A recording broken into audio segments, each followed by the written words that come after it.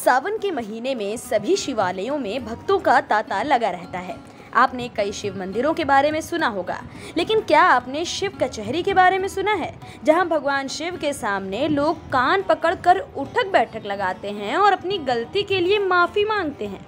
संगम नगरी प्रयागराज में शिव कचहरी मौजूद है, जहाँ अक्सर आपको भक्तों की भीड़ देखने को मिल ही जाएगी।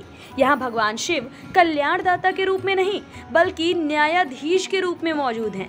यहाँ भगवान शंकर ही जज हैं, भगवान शंकर ही वकील हैं और आने वाले भक्त मुलजिम। यहाँ पूरे दो सौ अट्ठासी शिवलिंग विराजमान हैं।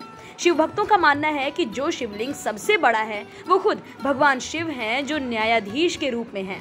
बाकी दो सौ सत्तासी शिवलिंग छोटे हैं, जो वकीलों की तरह लोगों की समस्याओं को सुनते हैं और बाबा के सामने अर्जी लगाते हैं। सबसे खास बात तो ये है कि जिस किसी को भी एहसास होता है कि उसने जाने अनजाने में कोई ना कोई गलती की है, वो यहाँ अपने आप ही कान पकड़ कर उठक बैठक करने लगता है। बिना उठक बैठक किए, बिना गलती की माफ़ी मांगे, उसका मन ही नहीं मानता। भोलेनाथ के भक्तों का मानना है कि यहाँ उठक बैठक लगाने से ही भगवान शंकर उनकी गलती को स्वीकार कर लेते हैं और उन्हें माफ़ कर देते हैं, जिसके बाद भक्तों को काफ़ी सुकून महसूस होता है।